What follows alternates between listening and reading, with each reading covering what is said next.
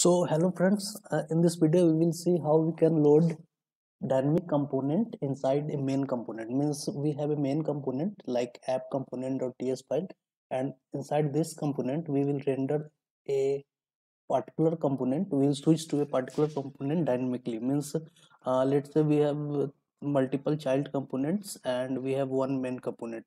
Inside main component we will show one child component at a time and it, I, we will change it dynamically. Means uh, one child at one time second uh, again next time it will be second uh, means we can switch any one of them. So let's uh, see how we can do this basically. So let's first create the component. And uh, we have to run the command ng generate component. Let's say inside a dynamic folder let's say form one we will create form in every every child component. So we are creating child component. So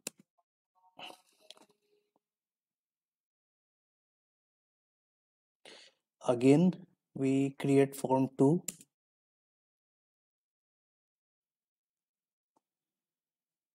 again we create form 3 so we have three different components here form 1 form 2 form 3 and you can see app module ts file is automatically updated. It means all the components created components are registered inside app module ts file. So now let's start the coding. You can see inside dynamic folder all three components are available form 1 form 2 form 3 so now let's go to component.ts file. It is our main component where we switch to dynamically all the components. So let's import all created component here.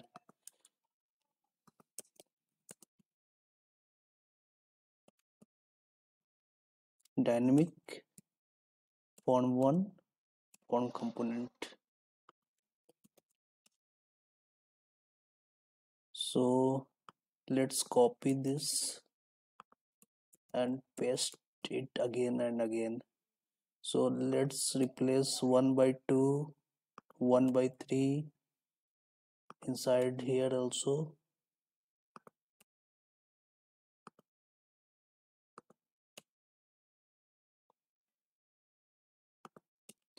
So we all important we have imported all the different components here inside main component.ts file. Now let's declare a variable default component. It means we define a default component here. It means when the, when this main component will load which child component will be loaded first at the initial initialization time. So let's define this dot default component as form one component. And now let's makes a method switch component. And we let's put a parameter here. And inside this method let's put if condition. If val is equal to form 1 else if form val is equal to form 2 2 and else if val is equal to form 3 and inside if each if condition let's initialize default com as form one component inside this dot default component is form 2 component. This dot default component as form 3 component. So this method is completed and method this method explains well that when this method called based on parameter the default component is switched. So now let's go to html part of this app component. And so this is the html. Let's paste a html here.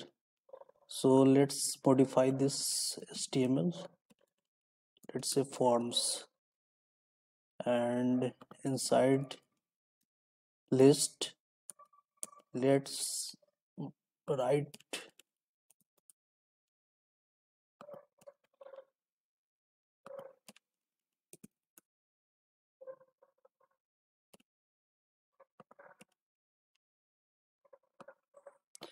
and on each list click function we bind this method switch val and inside this hmm. let's replace val as form 1 sorry form 1 and now let's repeat this again inside each list and we have to change. Form 1 as 2 now 1 as 3 so this is the method. It's uh, will explain that uh, whenever this list will called it will will click this method will call switch com. And uh, this method will do accordingly wh what we have write wrote here. So now let's build a let's write a angular directive ng content. And ng content. We have a property ng component outlet and where we have to bind the default parameter default component variable. So so now whenever this default component is changed html is binded accordingly inside this ng content. So now let's check on the browser.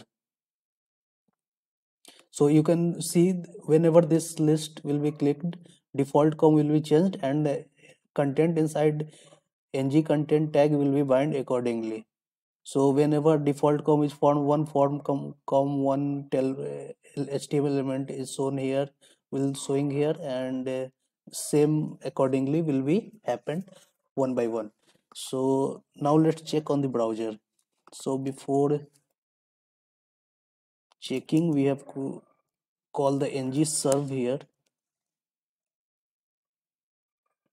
So we are on browser and you can see the default component value is form 1 so it form 1 is showing here. That html is showing here. And when i switch to form 2 it will it change to form 2 component. Now form 3 so this is the way we can switch to different component accordingly in the main main component file. Hope you like this. If you like this please subscribe the channel like the video. We'll back soon with some other video. Thank you